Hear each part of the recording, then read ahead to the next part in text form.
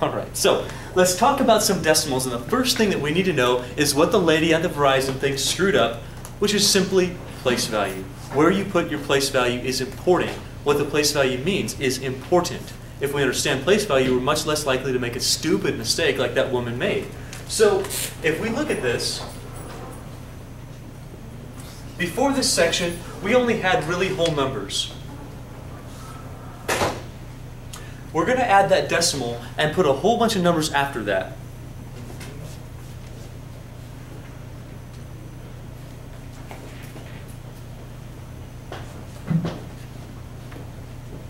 Now, just like our numbers before the decimal, such as the 4, 5, 8, every number, every digit after the decimal has its own unique place value. By the way, do you remember what this place value is? Ones. Or ones. Tens.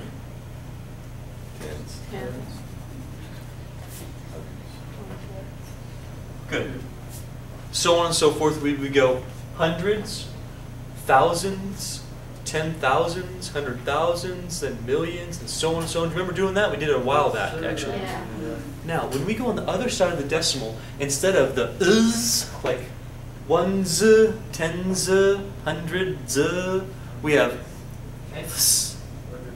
Can you all? fs. Yeah, we have the fs. I make I make the one with the with the T.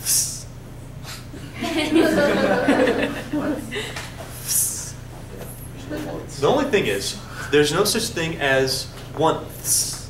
There's ones, there's such thing as once. Here's why. The first decimal right here, if you were talking about money, it would take 10 of these to make up $1, right? If it takes 10 of those, we're going to call them tenths. There's no oneths. Oneths are ones. Okay, we already have that. We want tenths. So this place value right here starts with the tenths. Tenths. It all ends with a THS to the right of our decimal place, saying they are fractions of a dollar.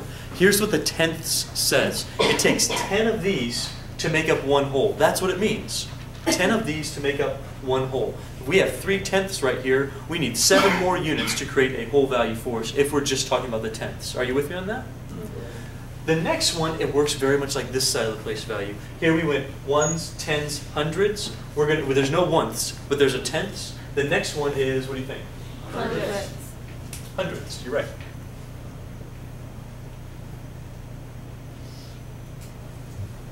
Hundredths.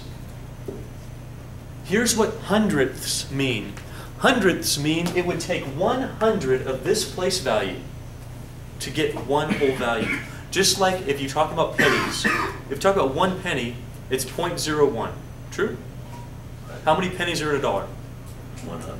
100. That's why it's one hundredth of a dollar. It Takes 100 pennies to equal a dollar. That's what this place value does. So we have tenths, we have hundredths. What do you think the next one's going to be?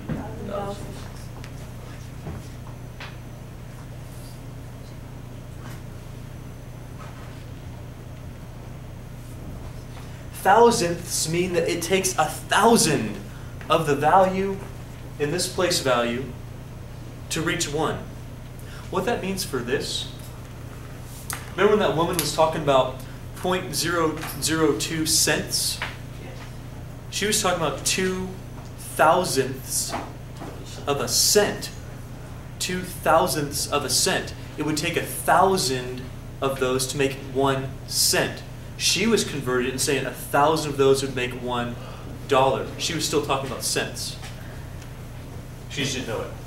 The next one, likewise, you're going to get Ten ten thousands or thousandths. thousand. Then we would get hundred thousandths. We would get millions last.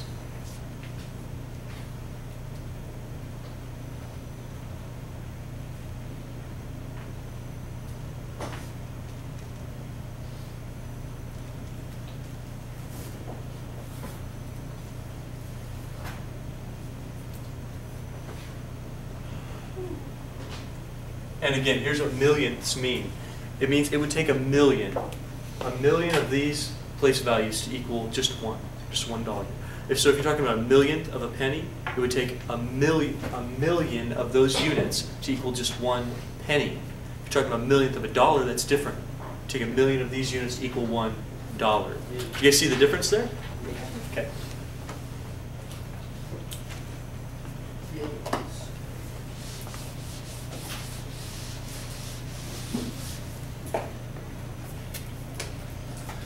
Hey, which one's bigger? 62 or 117? Seventeen. Clearly 117. Why? A larger number. Because it's bigger. Sure. Because it's bigger. Now, here's another question. What's bigger? 62.000 or 117.0?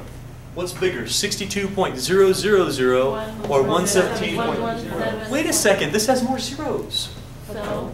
Why? Because Because the decimal more. of this side is more. So these are whole numbers, right? This isn't even part of a, this is part of a whole number. So if I'm comparing these numbers, do the zeros after the decimal really mean anything at the back end? No. No. So if, if I if, if you had someone who thought that, you'd be like, I'm gonna pay you sixty-two point zero zero zero zero zero dollars a year. You'd be like, dang man, I'm rich. That's awesome. If you thought those zeros meant something, right? But they don't. Yeah. That means you're getting sixty-two bucks a year. You're you're gonna be broke. That's it. Right? Those zeros after the decimal place at the end of the number, they don't change the value of that number. They're just parts of a whole. So really, I mean, even though that's a very long number, because we have the decimal place, the only thing that's counting for us as far as money in the pocket is just this part. You're gonna have 558 whole dollars. The rest of this is just part of one dollar. It's a little more than 30 cents. That's it.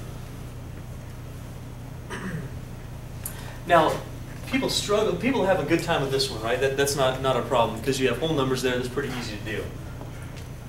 What I'm concerned with is, are you going to be able to find the difference between decimals? Such as, if I give you 0.693,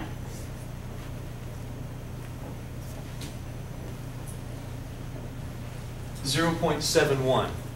I need you to be able to figure out which one is bigger in that case. Where they have a decimal, there's no whole number, right? There's, there's just a zero, that's why the zero's out there to show that you have a decimal somewhere.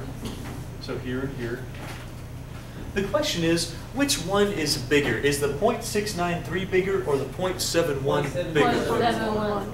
Okay, now why do you say that? Because. You can put another zero on the Seven, top. Seven. and six. Okay, so you could look at the, the first place value. That would be the tenths, right? Whatever has more tenths is a bigger number. Even though this one's a longer number, watch what you could do. You just recognize that the zero at the end of a decimal really doesn't do much, right? Like it add zeros on here all day long, it's not going to change the value of that number. Mm-hmm. Couldn't I just add a zero here? No. Why not? Oh, yeah, I agree.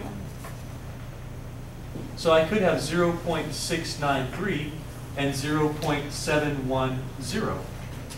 Are these the same values? Yes. Yes. Is this the same as that? Yes. Definitely. Is this the same as that? Yes. Yes. Which one's bigger now? Five, seven, ten. It's easier to see when you make them the same length. So one way we can quickly see what decimal is bigger, make them the same length by adding zeros onto the end. Then you can just ignore that decimal. What number is bigger, 710 or 693?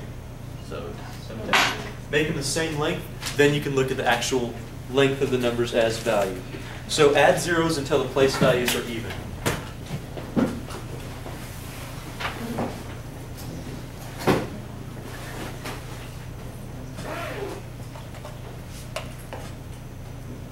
So add zeros.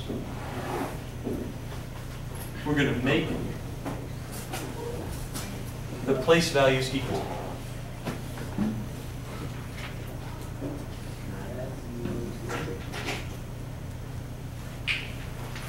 Make the number of place values equal.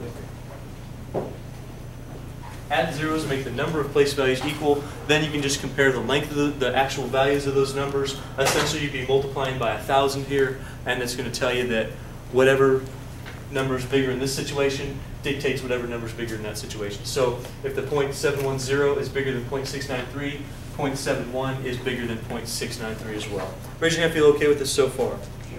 Good.